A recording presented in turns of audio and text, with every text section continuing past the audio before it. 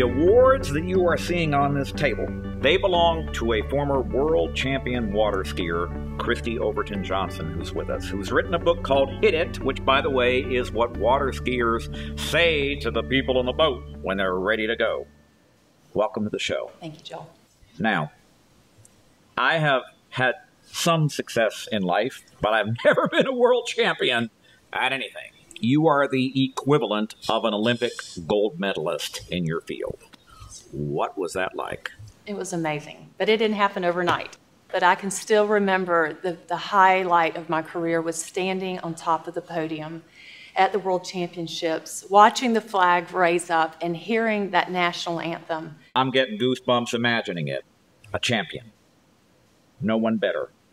And eventually, it all came crashing down. It did, and actually, it was that crash and that fall that saved my life. The night before one of the biggest tournaments, US Open, I found myself in a hospital room having a bowel obstruction.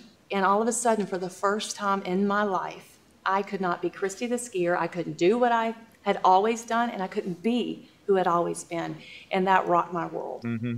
And that loss of identity shook you to the core. You were either going to deem yourself a failure or you are going to find a new and a different definition of victory. You know, there's victory, there's the, the success of the world, and then there's true victory. And what I learned when I was laying on that hospital bed, not mm-hmm. just that time, but 16 surgeries, going through chronic illnesses like Lyme disease, being diagnosed with fibromyalgia, going through international adoptions that were supposed to take months and took years. When I got in those crises in my life, what I realized is these medals they couldn't come to my rescue, but I did find someone that could. Who? I found me a power source. you know, as a skier, you've got to have a power source to get out of the water. I believed in the power mm-hmm. of God, mm-hmm. who is my power source. Mm-hmm. Like that skier, there was this, this line God had thrown out to me, his son Jesus, and I believed in that. But you know what? Every day I said, hit it to a boat. But for probably 25 years of my faith journey, I did not say hit it to God. You know, I didn't even know what it meant to be a Christian. I, I didn't know what it meant to be outside of belief of God in Jesus. I didn't know what it meant to be committed to know Him, not just intellectually, but in your heart, to serve Him with what you do and your passions, and to allow His love to trust it so that He can guide you to your destiny.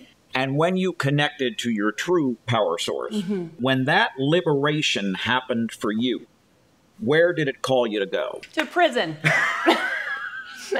but let's hasten to clarify you visit. I get to go in and tell people about the power source. When I got in there, I saw something for the first time. I didn't see prisoners, I saw people.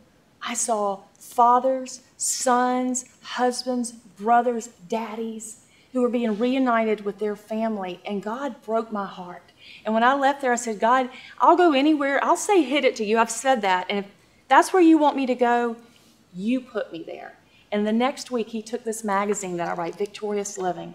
He puts it miraculously in the hands of the Department of Corrections of all of Florida prisons. And they call me and they say, We want this magazine in all Florida prisons. And within a week of my prayer and my wow. commitment wow. to God, wow. I'm in prison. And now I have a whole prison ministry with 38 women corresponding daily with inmates and encouraging them. Learning from this what true victory and liberation is. They are, and it's saving lives. We get letters every day where inmates, they're getting ready to hang themselves. And in their darkest hour, they look down and they're like, you know what?